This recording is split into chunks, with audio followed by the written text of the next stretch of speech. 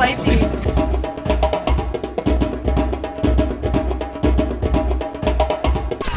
Hey, it's Kelly from Strawberry Mochi. I'm originally from Strawberry Mochi and I'm here for Brian from Ramen Adventures and we're going to try out Hanabi near Nagoya and um, they are famous for their Taiwan ramen. It's called Maze Soba. I got my ticket for my ramen.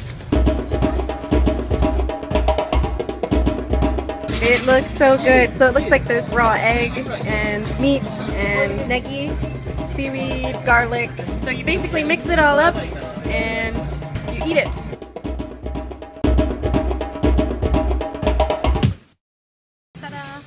So I'm gonna try it. Okay, here we go. Oh my god, I'm already like sweating. Mmm! It's spicy. Wow, that is spicy. It's really, really good. It has a lot of flavor to it. You can just definitely taste each and every ingredient. Wow, that is spicy. I need water. Oh, this is the best thing. One of the best things I've ever tasted. Almost, almost through.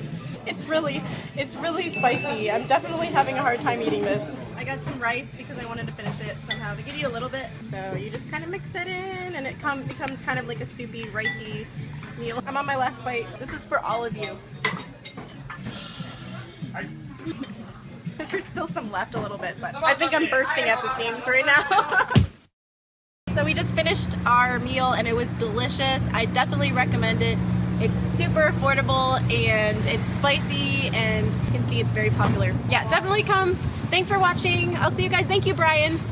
see you later. Bye.